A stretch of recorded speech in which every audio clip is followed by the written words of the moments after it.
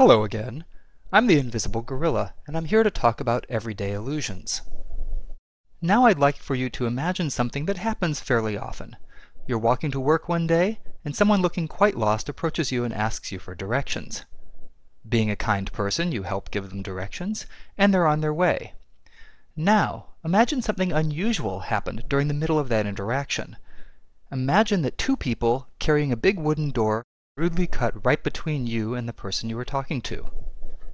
If, during that brief interruption, the person you were giving directions to were replaced by a completely different person, you'd notice, wouldn't you? Most people are convinced that they would. In reality, when the study was conducted by Dan Levin and Dan Simons many years ago, about half of the people didn't notice that they were talking to a completely different person. This failure to notice illustrates a phenomenon known as change blindness.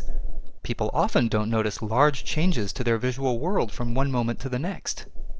The striking aspect of this result is that people are convinced that they will notice.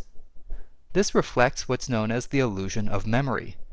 It's a mistaken intuition about the nature of memory. We assume we remember far more than we actually do.